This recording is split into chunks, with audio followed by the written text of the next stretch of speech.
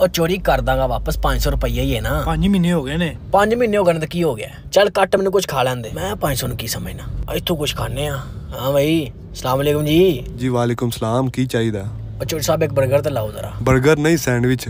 ਉਹ ਸੈਂਡਵਿਚ ਹੈ ਜੋ ਵੀ ਹੈ ਲਾਓ ਤੁਸੀਂ। ਛੋਟਾ 600 ਦਾ ਉਦੋਂ ਵੱਡਾ 900 ਦਾ ਸਭ ਨਾਲ ਵੱਡਾ 1200 ਦਾ। ਉਹ ਵੀਰ ਜੀ ਮੈਂ ਅੱਗੇ 500 ਦਾ ਰਾ ਚੁੱਕ ਕੇ ਆਇਆ। ਮੈਨੂੰ 600 ਦਾ ਲਾ ਦਿਓ। 100 ਦੀ ਚੱਕੀ ਤੁਸੀਂ ਲਾ ਲੈਣਾ ਤੇ ਬਾਕੀ ਮੈਨੂੰ ਦੇ ਦੇਣਾ। ਭਾਈਜਾਨ ਸੈਂਡਵਿਚ ਆ ਗਿਆ ਤੇ ਚਿਕਨ ਕਿਹੜਾ ਪਵਾਉਣਾ ਜੇ ਚਿਕਨ ਕਰਾ ਪਾਣਾ ਹੈ? ਚਿਕਨ ਜਿਹੜਾ ਚਿਕਨ ਹੁੰਦਾ ਹੈ ਉਹੀ ਪਾਣਾ ਮੁਰਗੀ ਦਾ ਹੀ ਹੁੰਦਾ ਹੈ ਹੋਰ ਕੀ ਬਤਕ ਦਾ ਚਿਕਨ ਪਾਣਾ ਜੇ। ਉਹ ਮੇਰਾ ਮਤਲਬ ਕਿ ਸਪਾਈਸੀ ਹੋਏ ਜਾਂ ਸਾਦਾ ਹੋ ਜਾਏ। ਉਹ ਭਰਾਵਾ ਤੂੰ ਮਸਾਲੇ ਵਾਲੀ ਪਾ ਦੇ। ਓਕੇ। ਔਖਾ ਹੀ ਹੈ ਭਾਈ ਕੰਮ ਮੇ ਵੀ। ਅਲਾਦੀ ਮੈਂ ਬਹਿਣਾ ਉੱਥੇ। ਉਹ ਭਾਈ ਇਧਰ ਦੱਸੋ ਸਬਜ਼ੀਆਂ ਕਿਹੜੇ ਕਿਹੜੇ ਪਵਾਉਣੀਆਂ ਜੇ? ਉਹ ਅੱਛਾ ਜੀ ਇਹ ਕੰਮ ਹਾਲੇ ਰਹਿੰਦਾ ਹੈ। ਉਸਤਾਦ ਜੀ ਖੀਰੇ ਸ਼ੀਰੇ ਰਹਿਣ ਦਿਓ ਤੇ ਬਾਕੀ ਸਾਰੀਆਂ ਸਬਜ਼ੀਆਂ ਪਾ ਦਿਓ। ਓਕੇ। ਠੀਕ ਹੈ ਫਿਰ ਉਧਰ ਫੜਾ ਦੀ ਮੈਨੂੰ। ਭਾਈਨ ਕਿੱਧਰ ਜਾ ਰਹੇ ਹੋ? ਸੌਸ ਕਿੰਨੇ ਪਵਾਉਣੀ ਜੇ?